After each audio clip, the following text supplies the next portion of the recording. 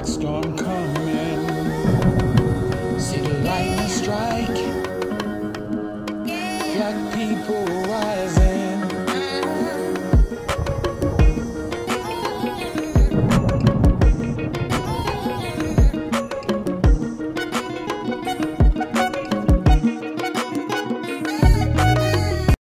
boys last year that wanted to play in the NBA. Of that million, only 400,000 will even make it to play high school ball. Of that 400,000, only 4,000 will be able to make it to play college ball. Of that 4,000, only 35 will make it to the NBA. Of that 35, only seven start. And the average life in the NBA is four years. So the real problem is we have a million brothers looking for seven full-time jobs that last four years. And yet last year we had 100,000 jobs available to be a computer programmer, engineer, or doctor, and only 1,000 brothers qualified. So our appeal to black males is to realize the odds. That that you do most will be that that you do best. I mean, we were the first doctor, not Hippocrates, Imhotep. So we have the ability either in math or science or music and sports. But that that you do most will be that that you do best. If you play basketball from 3 o'clock to 9 o'clock, you'll be a very good basketball player.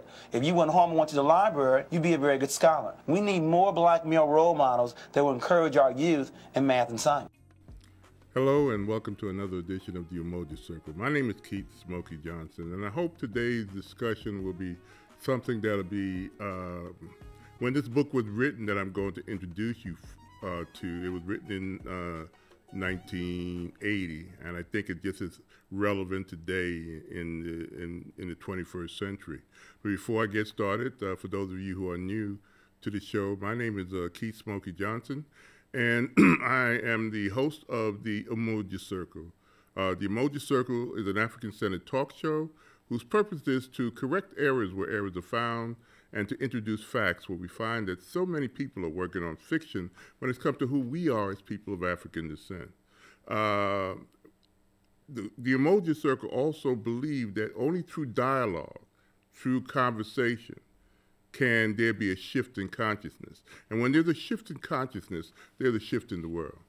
Uh, so let's get started. As you can see, I got some books in front of me.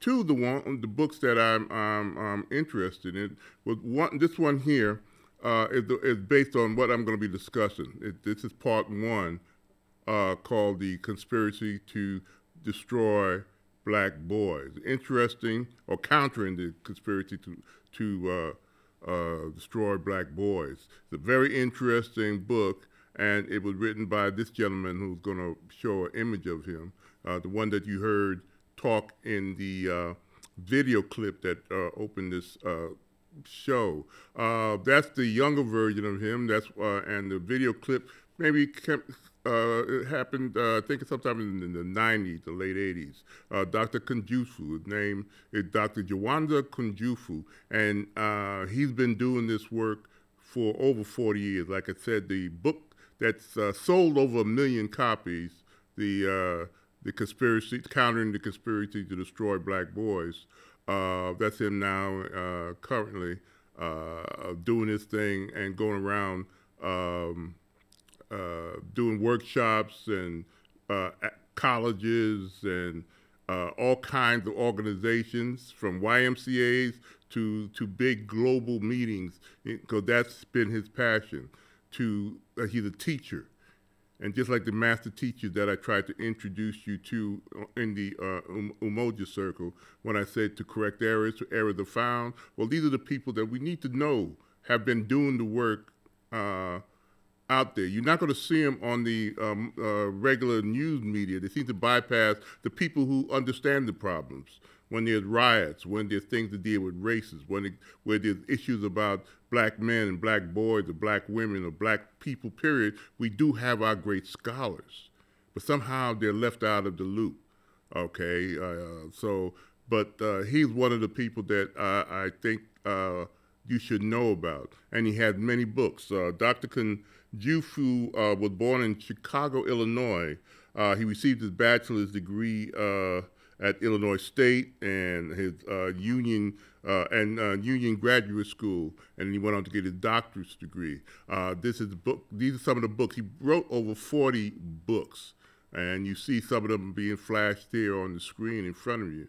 Uh, this is one thing that's also a good companion book to uh, countering the, destruct, the, the, the, the, conspiracy to destroy black minds because understanding black male learning style. He is a teacher.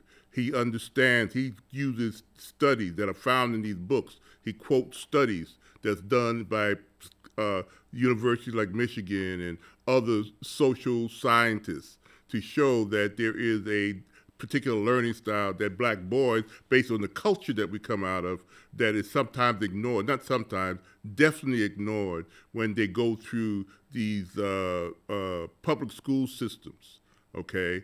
Uh, now, the, the, next book you see, I just want to show that he doesn't only do boys, uh, he does talk about raising black girls and educating black girls also amongst his 40 books or so. But we're going to focus on, and also one of his majors in college was economics. So this is another, so he talks about uh, uh, black economics also. So another one of those great uh, books that you might want. Very easy read, uh, and you know, uh, not complicated, but he makes sense. And again, he's been doing it since the early 80s. A very brilliant uh, man, and I'm, I'm, I'm glad to introduce you to him. Um, in the in that uh, opening uh, video clip, he said something that was very profound. That's why I put it because I heard that many years ago.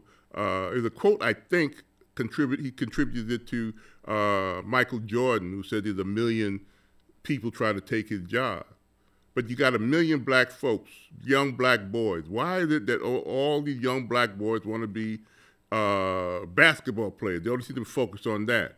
Or other other than that, the, you see black men being vilified in the, in, in, in the in the on the internet today. We we we we dog, we're dogs. We, we we can't be dependent on. Why is this image of black uh, men uh, in such a negative light? Why is there, uh, uh, uh, you see videos or movies of black men just hanging out on street corners, okay, or not seem to be uh, doing anything other productive? Even though for 246 years in 1619 to 1865, we were enslaved people. And enslavement means work. So it wasn't that black men genetically were lazy people. That's the that's the, the, the, nonsense that's been told afterward to justify the inhumanity, the human demand uh, that was done, the apartheid system that has been part of America, that's only ended in 1964, okay? But this system has been around for hundreds of years prior, and it's still embedded into the psyche of America. And Dr. Kunjufu said it's even in our school system because of the, the perceptions that black people have been uh, vilified with, especially young black boys who seem to see uh, a danger. We look at black men, we always focus on black men, but until you understand that the damage is done to black boys before they become men, then you will not understand that. If you only wait until you're dealing with a 16 year old or an 18 year old or 30 year old black man, man who is unemployed, who was hanging in the streets or just got out of the prison system, why he ended up in that prison system, why he is unemployed, and all the other things that went again happened when he was a black boy. Uh, and that's what we're going to talk about. So let's go on uh, and, and, we can start the discussion. Okay, this is just talking about what I said. Uh, uh he's ordered uh, over 40 books okay and uh, there's like again it shows that there's a, a, a volume two to the uh, destruction i think now uh, a volume three came out uh, with the uh, countering the destruction uh, which has all the information that you want statistics and and and and and, and solutions let's go on to the next one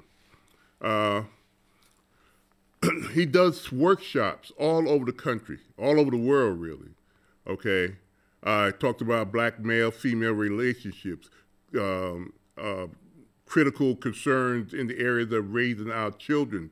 Uh, black, especially black male. Again, he focused on the black males because we are important uh, in our black community, and if the and and and our black women need us, okay. And if we are not functioning fully or damaged by the time we get out of of, of, of high school, not prepared for the world because the system was not put in place to enhance us that way. And that's what, what he wants to talk about, about countering the, the, the conspiracy to destroy us. Because a system of apartheid that created the public school system didn't have black boys and uh, black girls or black children uh, in the best interest, uh, even uh, after the Board of Education uh, said that we were uh, free to go to whatever school we wanted to in 1954. Let's go on. Okay. I believe, and I agree with uh, Dr. Jufu, uh, that we have to look critically at those who are teaching our children, you know, particularly our African American males. Statistics show that only 6% of our teaching profession in African American uh, are African Americans, okay? Of this, only 1% is African American males. Why is that? 83% are white females and and there have been uh, 66 uh, percent decline in African American teachers since 1954. And and what and, and there's another book that I uh, showed that I did a couple of months ago, talked about uh, uh, segregation pink slip. That's the name of that book, and what it, it deals with that issue before 1950. That's why this this uh, point is taken. That, the, that 1954, that's Brown versus the Board of Education, when the separate but e uh, uh, uh, unequal ruling came down from the Supreme Court, which opened up um, the uh, schools uh, for people of African descent, and uh, but the system that still controlled the apartheid system, white males who controlled it in state governments, uh, uh, throughout the, the South and other parts of the country after 1954 in states like, coincidentally, Florida, they closed down schools rather than follow what the Supreme Court in 1954 did. Okay, they they they refused to uh, accept integration of black people. Why? Why is this system so um, set on keeping us separate from each other? But there, but it, but it did damage to our people. Now, one good thing about it, you know, black, poor black farmers in the South, or, or and black people in general, always pooled their wealth. We were always part of the education system. Here's another book that I, I think you should also look at. Uh, it's called uh, The Education of Blacks in the South from 1860 to 1935. And those who think um, like after, now we think that black people or young black boys are dumb and stupid and only images you see is drug dealers. Black people have always been about education. And why is it since 1954, Dr. Jufu says, uh, that all of a sudden we have these problems?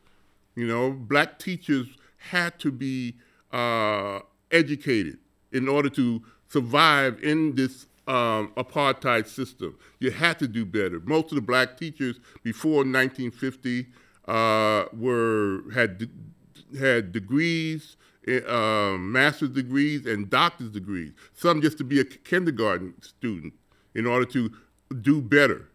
But after 1954, a lot of black teachers lost their jobs and our black children, especially black boys. And there was a lot of, them since back in the early uh, 20th century, it's a male dominant. There was still a lot. There was a lot of ma black male teachers in in the primary school system.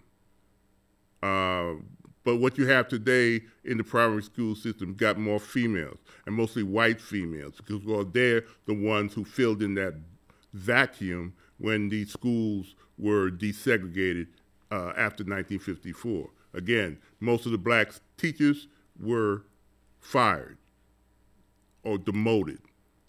So all those black schools that had uh, positive role models as principals and uh, school district superintendents and those type of things in the segregated black schools, they lost their jobs. And we have this thing, and that's what he's talking about. It wasn't done coincidentally. It's nothing done genetically to our people. It was conspired, deliberate. And our young black, especially young black boys, are paying attention, uh, pay, uh, paying the price for it. And uh, there is a reason. Let's go on to talk about this some more. Okay. Now, in volume one of the, the that's the book one, uh, this is what he goes over. Uh, who is against black boys? I kind of talked about a little bit of the system, you know, systematic racism, okay, done by dominantly white males for hundreds of years. They're the ones who run the system. Uh, it wasn't white females, even though they conspired in certain ways and benefited certain ways. Many of the civil rights uh, laws benefited white females since 1964. That's a fact. Uh, why is there a conspiracy against them? Why is there? Well, this is a male dominant society, a white male dominant society. Black males are a threat, okay? And if you just mess with the young black boy, that's where you're going to control the black male in a sense. If you mess with his mind from the time he go into your school systems, okay, this might sound like hyperbole, but this is what we have to deal with in America from the 1950s. Even though we talk about, you know, Brown versus the Board of Education, that is some kind of uh, glorious thing happened. No, the system has always tried to maintain control. Okay, so that's what the conspiracy is. And yeah, again, when did the conspiracy start? It really started uh, since, um, again, when they control us in a sense by law uh, as enslaved people. Then in 1865, when we became uh, supposedly freed, but we were not given any kind of economics. You got 246 years of of of uh, uh, of uh, uh, free labor. Okay, we weren't stupid people. The fact that you might not be able to read did not mean you were dumb. It's just that you didn't understand the symbols that were used to call language or the, the, the, the books that were written in the dominant group's perspective. Okay, but we always did education. One of the things that people don't realize, again, according to this book that I'm uh, uh, uh, on the other end that I talk on another show, but I just brought it in to support what uh, Dr. Kunjufu is talking about. And what I'm talking about is that it is something that uh, we've always enhanced, but the system even built into, that's what he calls systematic racism. You got systematic racism in the criminal justice system, systematic racism in the political system, and even in the educational system. It was systematic racism, a perspective, a control, uh, and how the approach to teaching black children was uh, embedded with a lot of racial biases. And those who are teaching our children who do not know our culture have built-in biases that they might even be aware of. And this is what Dr. Kunjufu says is one of the, the problem. It might not be a deliberate conspiracy for everybody, but it is a system that has been put together to keep us separate in ways that kind of bend and fit the, the so-called legal jargon of civil rights. But if you control the system, you could, you can make the system work any way you want to, to work. And we have to be conscious of that and conscious of how and where and, and, and how our children are being taught. Let's go on to the next one. Okay, volume two, basically the relationship between boys, and this is very important. Uh, not only the teachers, like that book that uh, I showed you earlier, but the, our relationship to the, uh, the, mothers are looked at. That's in book two of uh, uh, the conspiracy to uh, destroy black boys. Relationship again between teachers and black male students. I look back in book two. Uh, uh, he quotes case studies that's done by universities in that book, and uh, we might get to those things uh, later on in this broadcast. Okay, and it's also, which I always believe in, uh, a, a, way of all communities should shape how our black boys are taught to be men. Because today, you can see that a lot of people use the word manhood, but when do you become a boy or a man? when you're, you know, nine or 10? Is there some kind of signal? No. Unless a, uh, unless a man tell you you're past that point where we look at you as man in society, we have a lot of confused young boys out there thinking that they are men or trying to do things they find in the streets that they consider man good, and they only end up getting in trouble. A controlled environment, rites and passage is, is something that is still necessary. it is ancient African. Other cultures do it.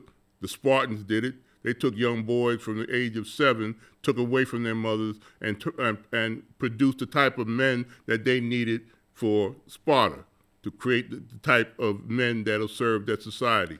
All ancient people do it. It's been, but it has been done in Africa for thousands of years. And we got disconnected from that when we were brought here uh, in this system of, of enslavement and apartheid that still have the effect on us to this day. We have disconnected ourselves from that. Let's go on.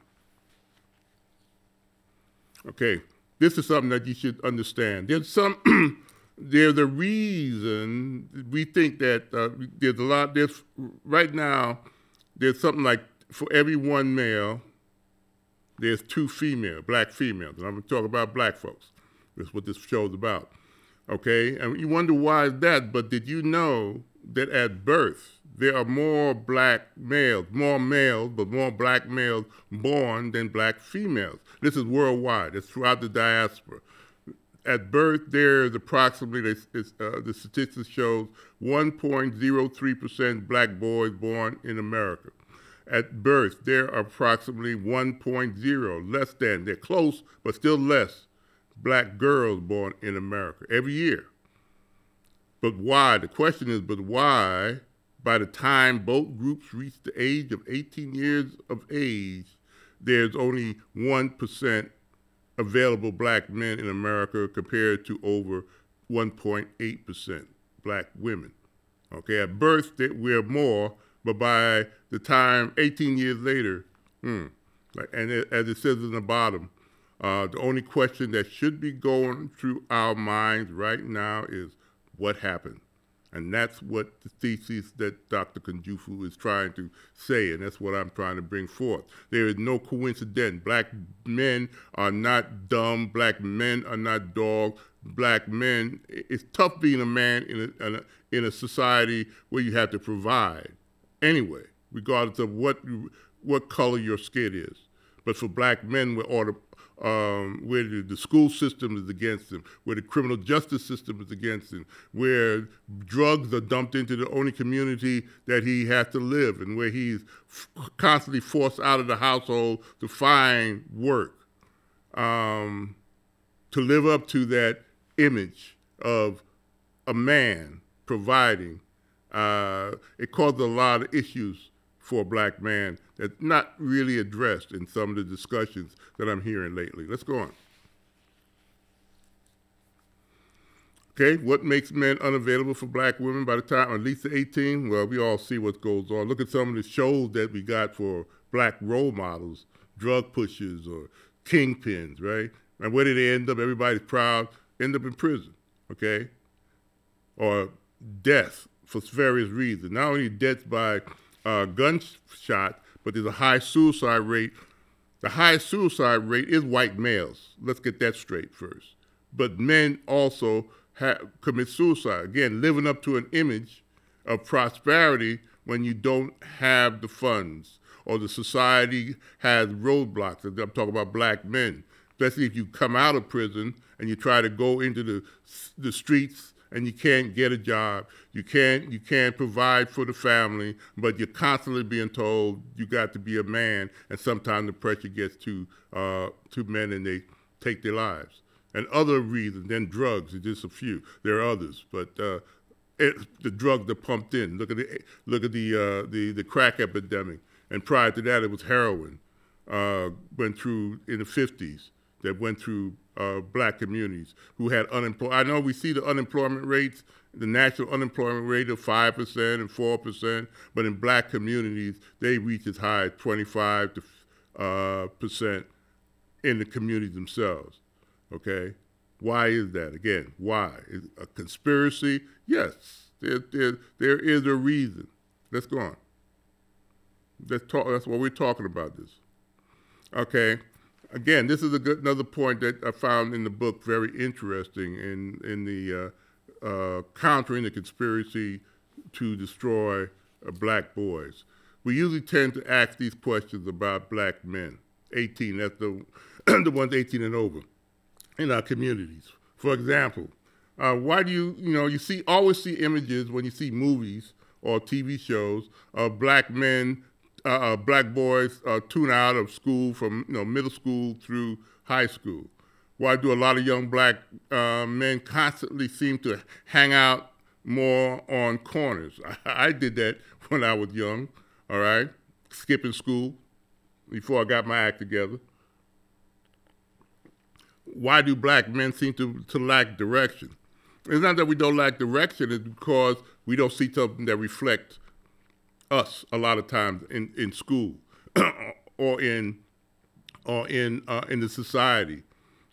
There's a point that you must understand that black men, especially young black boys, are smart, very smart.